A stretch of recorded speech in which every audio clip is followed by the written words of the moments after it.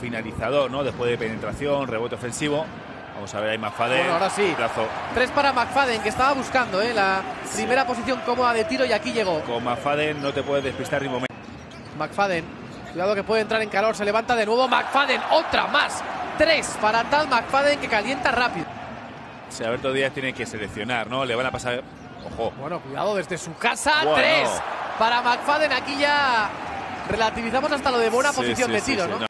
Bueno, impidiendo, ¿no? Que, que el jugador que lleva el balón pues pueda leer eh, correctamente. Vaya crossover, ¿eh? vaya cambio de mano, vaya triplazo Sí, ahí. de Travis Trice. Es un más nueve. Y tiempo muerto. Sobre todo, en este caso siguen en, en hombre. Otra Bueno, vez el otra vez. crossover tremendo de Trice. Bueno. Otra vez el triple. Ha entrado con ganas de jugar el Travis Trice. Ha habido un cambio, pensaba que estaba de nuevo la misma jugada. Otro lanzamiento, más Bueno. otros tres. Esto es indefendible. Madre mía. El pasito atrás, el cambio de balón entre las piernas y ya van tres.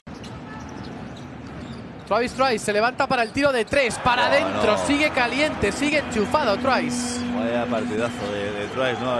Yuka Murcia que tiene cuatro segundos, aunque el balón está en manos del más peligroso, de Trice. La finta es maravillosa, el lanzamiento mejor. Tres para Travis Trice, que ha sido espectacular lo que ha sacado de, de donde no parecía nada. Menos de siete para llegar al final del partido. McFadden se levanta de tres, vaya triplazo, otro más. En el tercer cuarto no aparecieron demasiado, ni Trice ni McFadden. ni- Un rendimiento positivo, vaya choque de Brizuela y Diop. El lanzamiento de tres, otro más. Tres para. UCAM Murcia y así es imposible porque puedes hacer muchas cosas bien, pero cuando hay jugadores en este nivel de, de- de calentamiento, ¿no? de estar enchufados, de, de acierto, es muy difícil.